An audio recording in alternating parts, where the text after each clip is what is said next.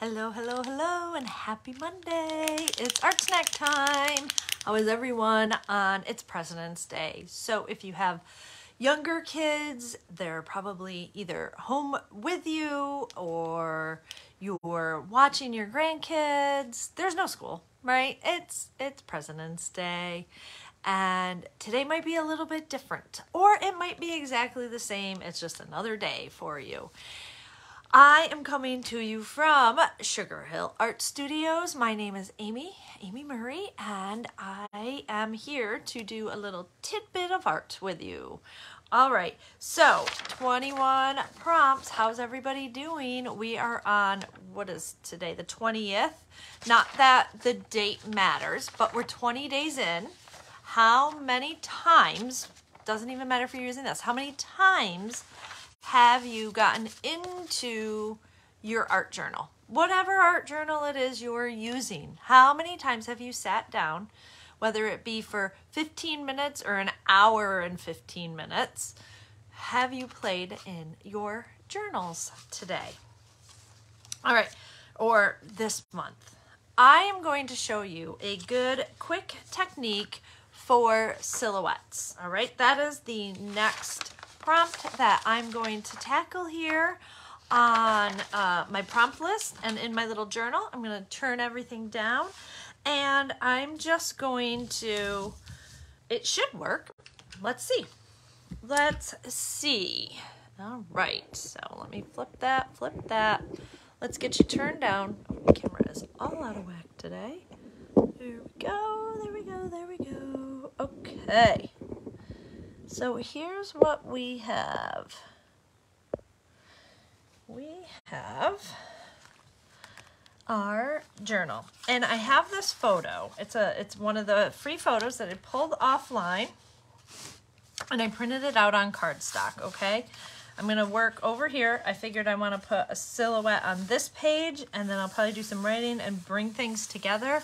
This is originally my thick and thin page. I've, I haven't come back to it since I laid the color down. And that's okay. That's, that's why I chose to work in this spread today because I want to talk to you about, I want you to remember, I should say, how important it is to or it's okay. It's okay if you lay down color and you and you put something in and that felt good that day. But then you come back and you feel like things aren't finished on that page or you want to do more and you do more. Your art journal pages are don't ever have to be finished, so to speak, okay? All right. So, silhouette, you can use your X-Acto knife or a pair of scissors and you're basically just going to go through and you're going to get down her silhouette. Now, I probably will add in hair like I want, but I want to get her face. Okay, and she is definitely turned more than a straight silhouette. Uh, you can certainly do this on, um, you can certainly do this with your, um, children or grandchildren, you know, take the photo. Silhouettes are great. They're super fun. Now, like I said, you can come in just with your knife and do this, but I am going to, and I'm going to skip her eyelashes there because I can add those after, right? You just take a photo, any photo that you want, and you are going to simply cut out the sides. I'm using an X-Acto knife because she's very fine in detail and I want to capture that. So I just want to hopefully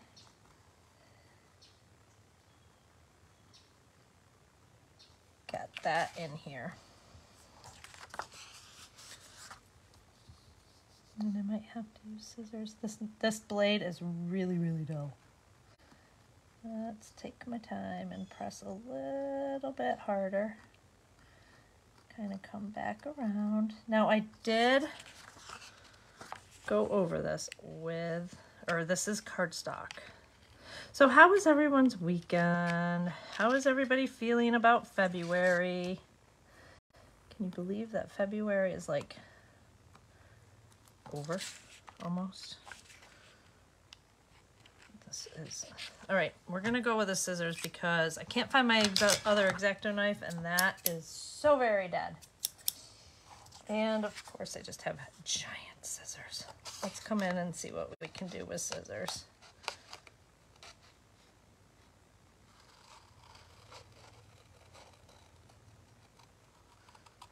Remember when you're doing some fine tuning, you're closing the scissors slowly and you're moving your paper.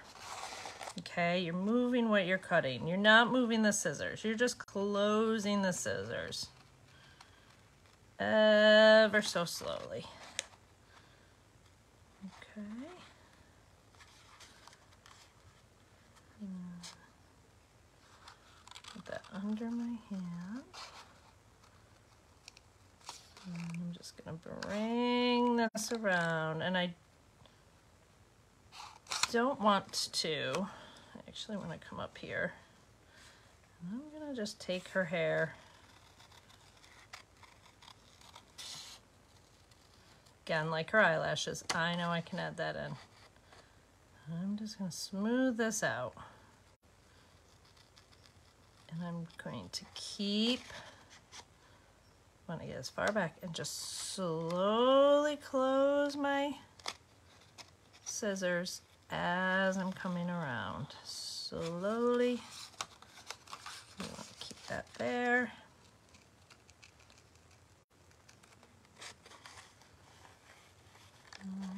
This is just an easy, simple way to get a silhouette.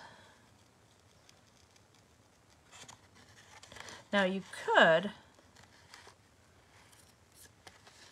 print it on bigger paper and actually, like by using cardstock, you're almost making a stencil. You'll see I have this cut out, but I'm just gonna make her chin work there.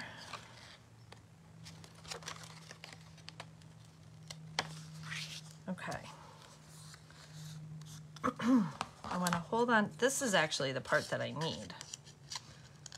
Right? Not so much her face, but this part. and I can come in.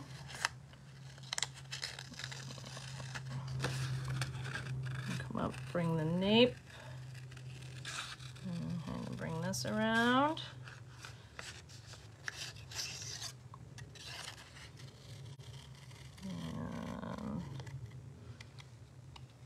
Okay. So I have two options. I actually had it cut out too small to just cut out inside and have the silhouette, right? This could be just a stamp. if I had the outside parts, which is what I would typically do with um, the young kids, right? And so here, can you see that? If these were taped together, here is her silhouette, right? And you could just use it as a stencil and just stencil, fill that in. We're going a little bit in the opposite direction, right, with these pieces. And so I can do the same thing, kind of put those down with some washi tape, or I can grab her. Let me just grab some scrap paper. Grab her, and I am going to move her. I don't, I, I want to enjoy some of her curls, so I do think I'm going to put that there. And I'm going to trace. I'm going to trace with a fine point Sharpie.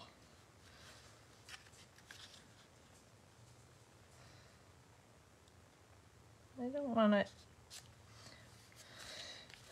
right at the edge, but now this is super fun when it's your loved one's silhouette. Okay, take your time. I'm going nice and slow just because I know sometimes how my hands want to work.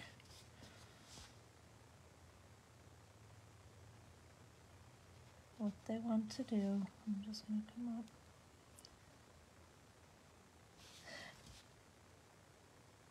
We're going to bring this up.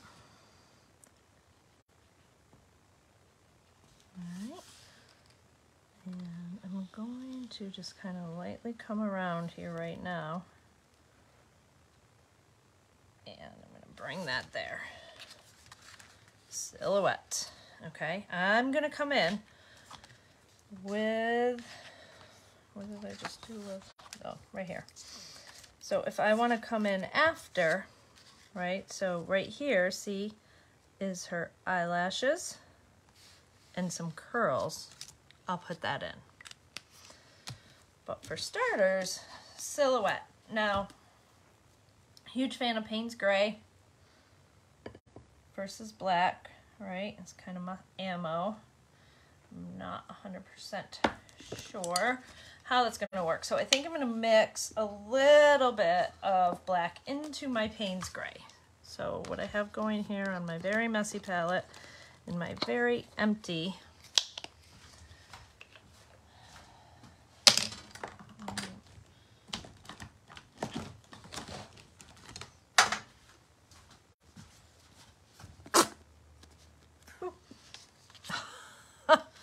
I got really, really lucky right there on that whole squirt that I just did.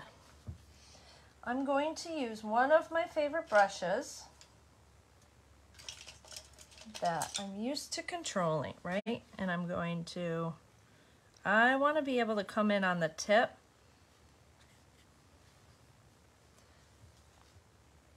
So this in. We've got some Payne's Gray and some black. And we're just gonna give the silhouette.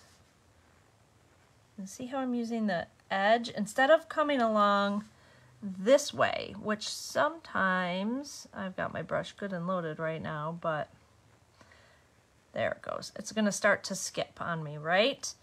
But if I keep my brush and I get my paint.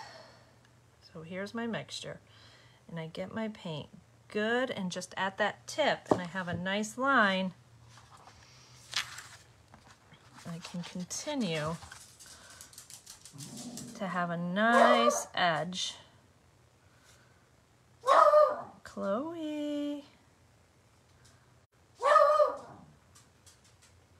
Right? Versus there sometimes it's not always perfect.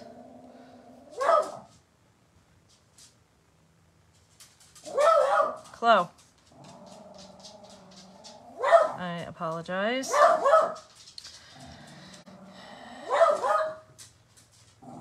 They're actually walking the horses across the street. They're walking them out on the road. So. I wish this wasn't happening right now. My deepest apologies, because that is the worst. For you to be watching me and having them do this right now.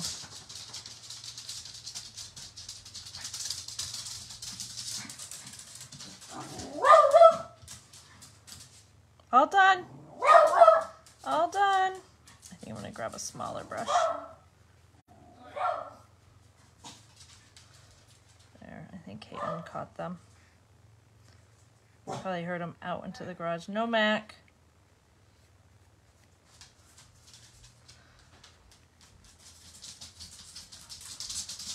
Guys, stop, please. Thank you, Hayden.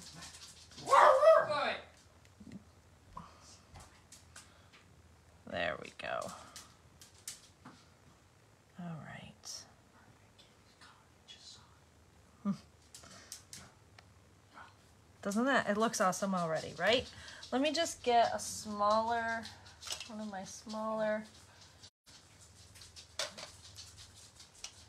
brushes maybe. Let's go with this one.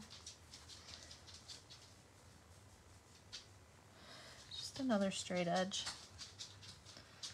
And I'm just gonna come in with my edge.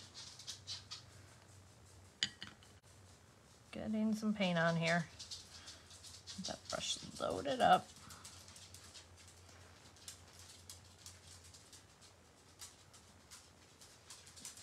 There. And come in. I love silhouettes. They always look so cool.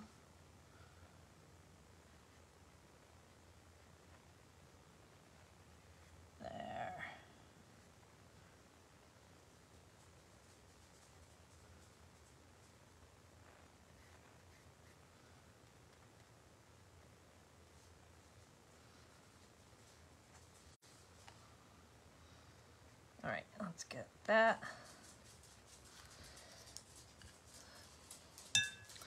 Cool, right? All right, so there is that part. Now I need this to dry before I go touching it, but I can add in some of the eyelashes and her curls, right? And that's gonna look really, really cool. If I'm looking over here and I want to add in, you know, because I don't want her to be like, she's not bald. She's got a good ponytail up here. So I'm going to give her that. Right?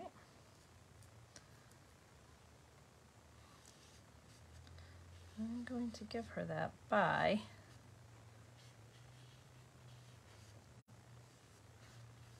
She's got a lot of hair.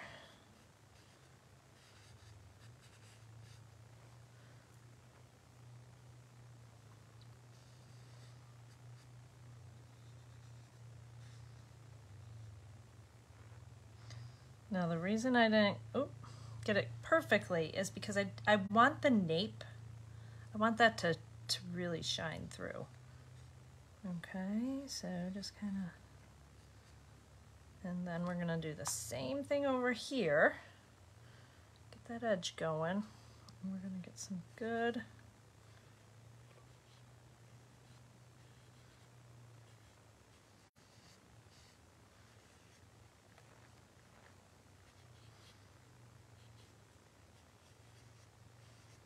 without getting too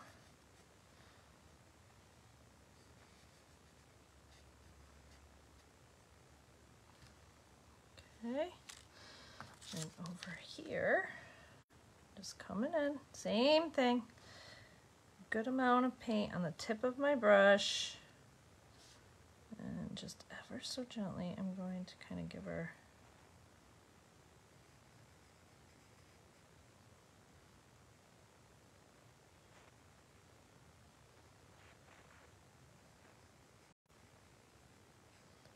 Because that's very much her profile. There we go. Get that up in there. Hair matters. I actually think it's like the telltale sign.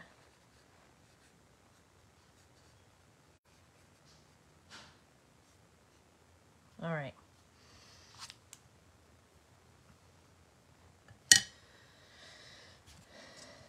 And with the teeniest, tiniest flick,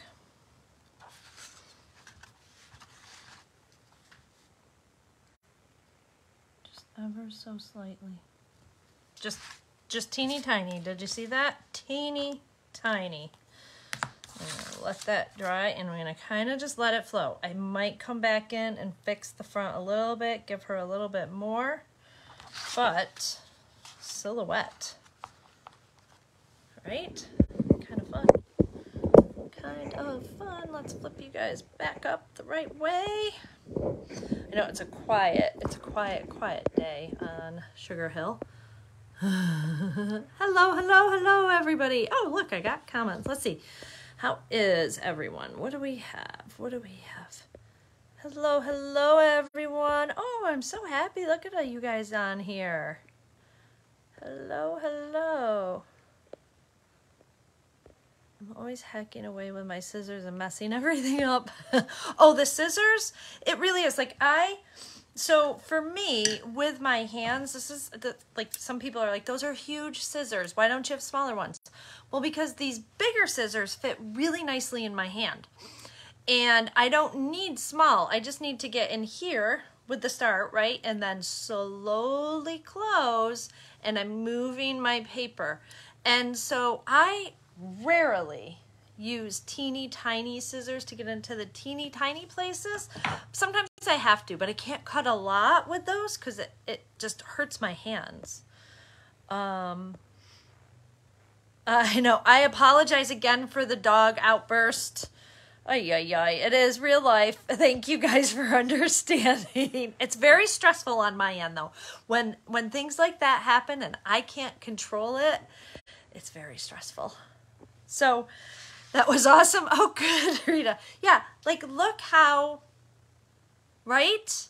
So find an image, whether whatever image you want it to be, whether it's an image of someone you love, yourself, just an image you have. I use a lot of free images. I kind of have them stored away um, for uh, just references, but you want to make sure you use free images because it's someone else's face. So it has to not be copyrighted or a photographer's work of art, right? So sometimes you have to now with a silhouette and things like that. Yes, you there's there's a lot of forgiveness there, right?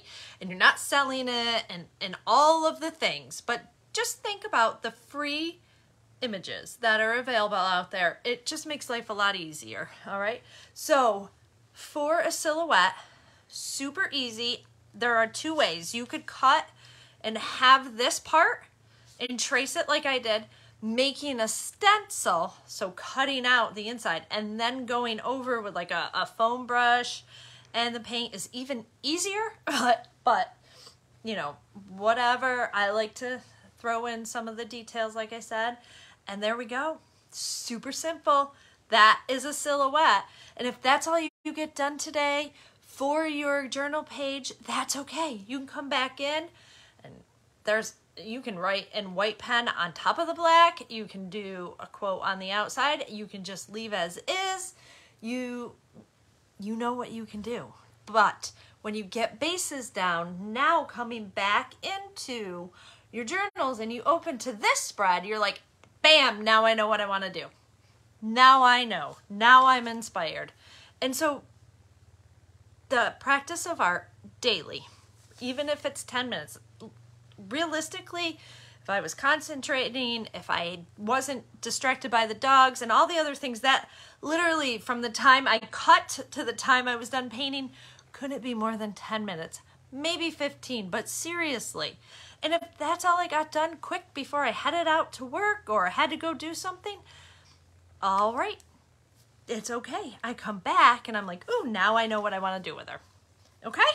All right, everybody, you have a great day. Happy Monday, and I'll see you soon.